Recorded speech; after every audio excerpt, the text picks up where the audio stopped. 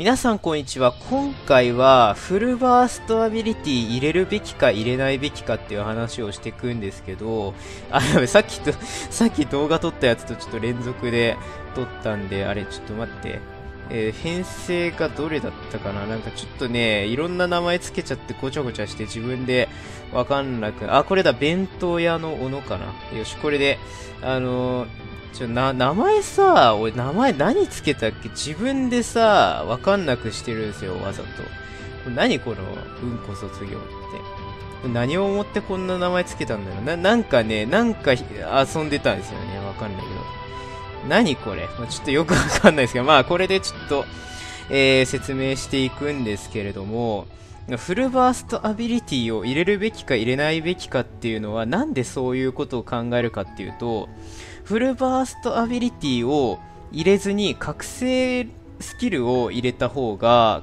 覚醒覚醒アビリティですね。入れた方が覚醒率上がるじゃないですか。だからそっちの方が火力出るんじゃないかみたいな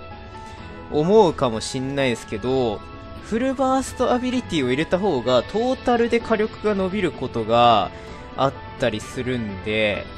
で、あの、まあ、フルバーストって、まあ、最初にバースト満たして打つじゃないですか。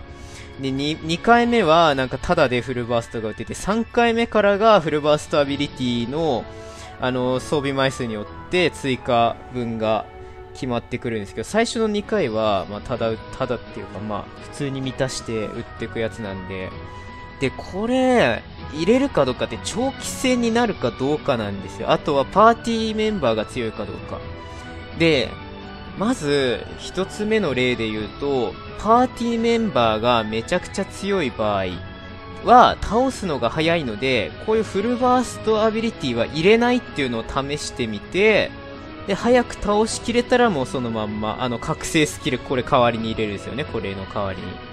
入れて、それか、あとはその、あの、短期決戦ですね。例えばイベントですぐ倒しきるとか、フルバ2発、1発2発で終わっちゃうよっていう時は、ここ覚醒スキルのが良かったりしますね。で、長期戦になる場合、長期戦になる場合は、あの、フルバーストアビリティを入れる方が、フルバースト中に打てるそうフルバーの回数増えるじゃないですか。だからフルバーストアビリティを入れた方がいいっていう場面が多くて、簡単に言うと短期決戦だと覚醒、長期戦だとフルバービーがいいのかなって思います。だからパーティーメンバーによるんですよね。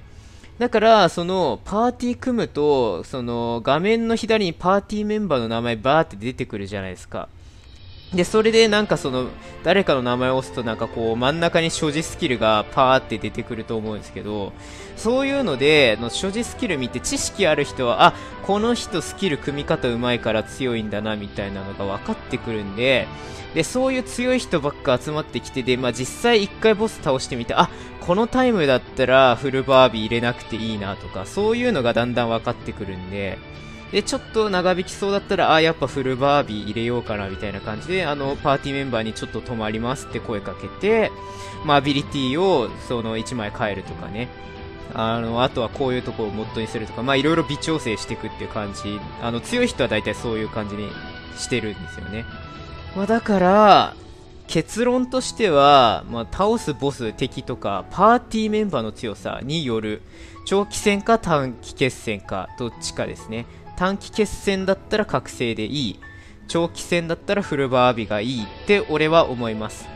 まあそういう感じがいいのか、なんかその場面によって使い分けるっていうのがすごくいいと思う。ていうか一番いいんですよ、そういうのが。結局、スキル編成だとね。っていうのを考えながらやるのがいいと思います。ご視聴ありがとうございました。チャンネル登録していただけると次の動画作りのやる気が出ます。ではまた。